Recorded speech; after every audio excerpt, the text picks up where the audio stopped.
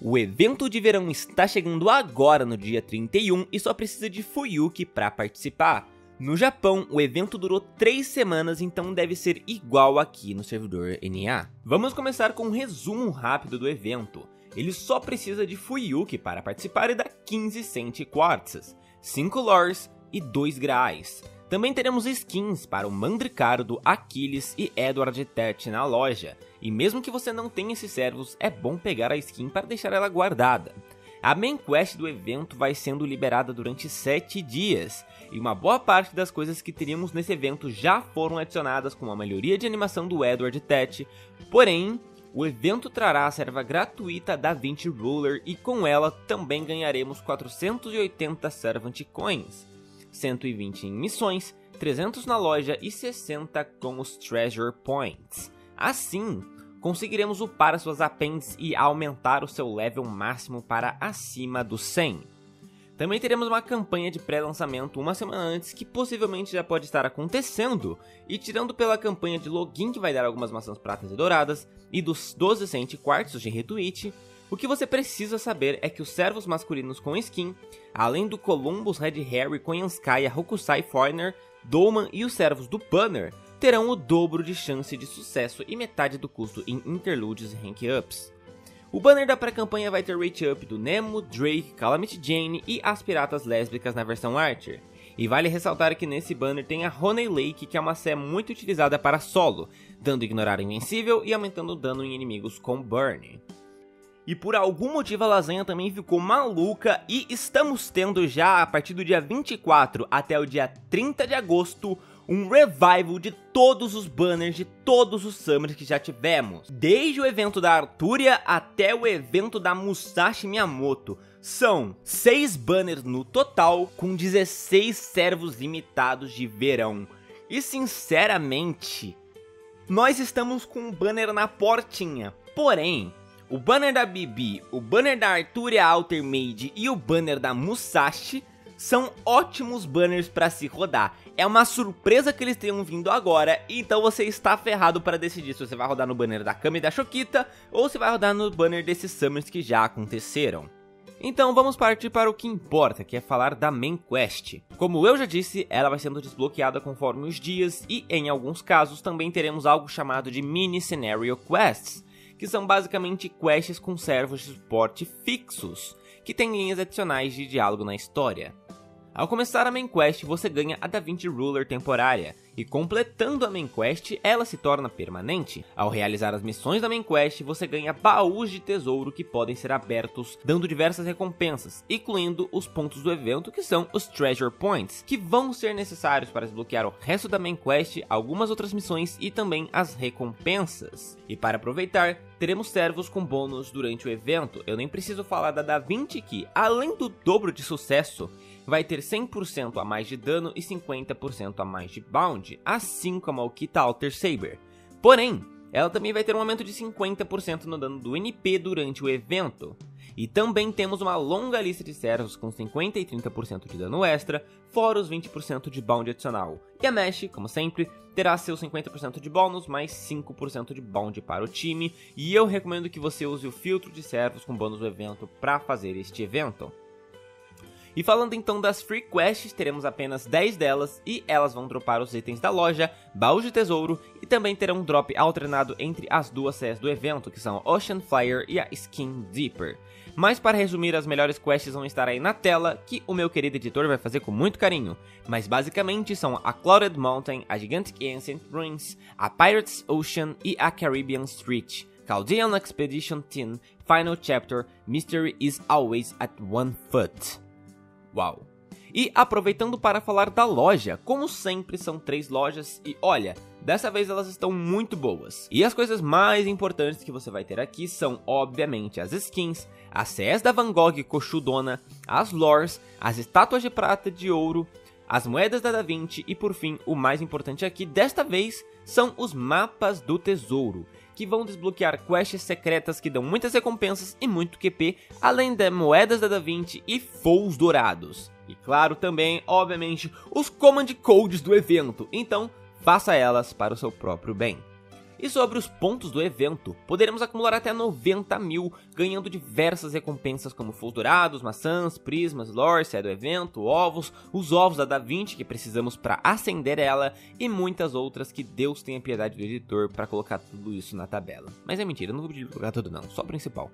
Falando sobre os command codes do evento, ambos são horríveis, mas temos o de 5 estrelas da Osakabe Hime, que aumenta o dano crítico do time em 15% por um ataque, o de 4 estrelas, que ganha 2 estrelas e remove o último buff defensivo do inimigo, o que é até que bom, o de 3 estrelas, que ganha uma estrela e... Mano, ganha uma estrela. E inflige curse de 300 pontos por 3 turnos. Ambos os CCs muito ruins, é melhor usar os de Friend Points. Falando das CS principais do evento que podem ser dropadas por algum motivo, temos a Vritra tomando um bronze que aumenta o Art de 5 a 8%, aumenta o dano do NP de 10 a 15% e claro, começa a batalha com 30 a 50% de carga e além disso, ela também é a sede de dano do evento que dá de 100 até 200% de dano extra.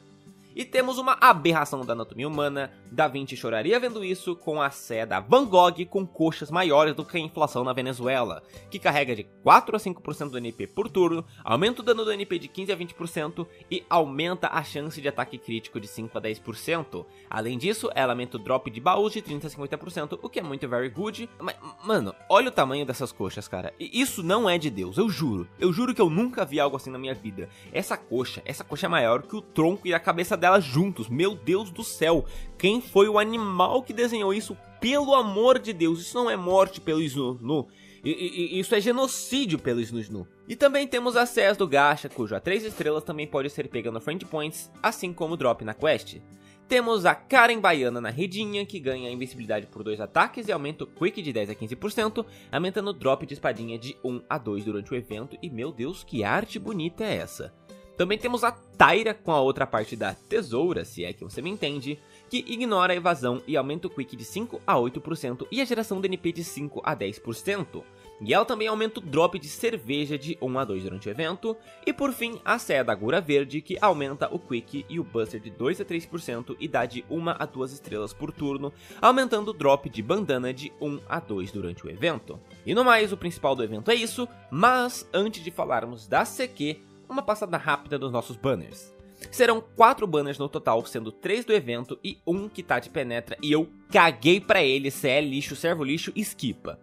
Falando sobre os banners de verdade, temos o primeiro com a Shokita Saber, Anastasia e Charlotte, banner ótimo, tirando a Charlotte que é mais ou menos, são ótimas servas e eu farei análise de todas aqui durante a semana. O segundo principal é o Meta Breaker, Art Farmer Looper, Kama Avenger, que por acaso também tem a Saber Zerker e a tal da Kaene estadinha. Esse banner é o seu principal alvo que você precisa ter em mente. A Kama é uma excelente serva para farmar, e eu vou falar dela mais no próprio vídeo. E por fim, e menos importante, o banner dos homens que vai ter o. vai ter o Columbus. E aquele tão querido por algum motivo, o Donman. Que é, não é a melhor pedida, mas se tu é o cara dos meta alternativo, ou se é uma adolescente reclusa com hormônios da flor da pele, roda por ele, vai só rodar. Não rodem pela CS, até porque o que não vai faltar é ser dropando nesse evento, e claro, como sempre, rodem por aquilo que o seu coração mandar independente do meta. Mas, falando de meta, a gente não vai ter nada muito interessante até o finalzinho do ano, então fiquem à vontade para gastar os seus quartos aqui. Cada banner vai durar uma semana e os 4 estrelas vão ser rotativos como sempre. E com isso temos a Challenge Quest. Lembra da Milf Dinossauro do Call do Requiem?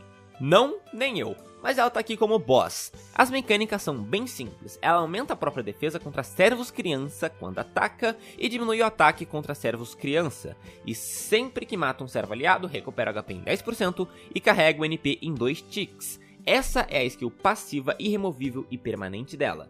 No começo da batalha, ela também ativa uma skill que aumenta o dano causado, exceto contra servos crianças, que por acaso também é permanente e irremovível. Quando quebra a primeira barra, ela usa uma skill que tem 30% de stunar o time por um turno e 60% de chance de selar o NP do time por dois turnos. Se esses dois falharem, ela ativa um skill shield garantido que deve dar para você evitar com debuff imune. Na última barra, ela ativa uma skill que carrega a própria barra em dois ticks e no final de cada turno e dá um estágio de overcharge para servos crianças. Isso é permanente e irremovível. Um detalhe pequeno é que nas duas primeiras barras ela tem 1 milhão de HP e na última só 2 milhões. Mas até chegar aqui você já vai ter a série de dano em LB, então tá safe. Recomendo levar servos que tirem debuff como a Nightingale Santa, Asclepios e Castoria, e também recomendo levar um DPS Artes, pelo motivo de Artes ser quebrado e da sede dano buffar Artes. Não é muito difícil, se conseguir gerar a barra dá pra fazer até de Baraki. Esse Tyrannomon pirado em crianças não é nada comparado à sua bela e lustrosa banana. Porém, como ela é Berserker, qualquer servo ST Artes deve dar conta do recado.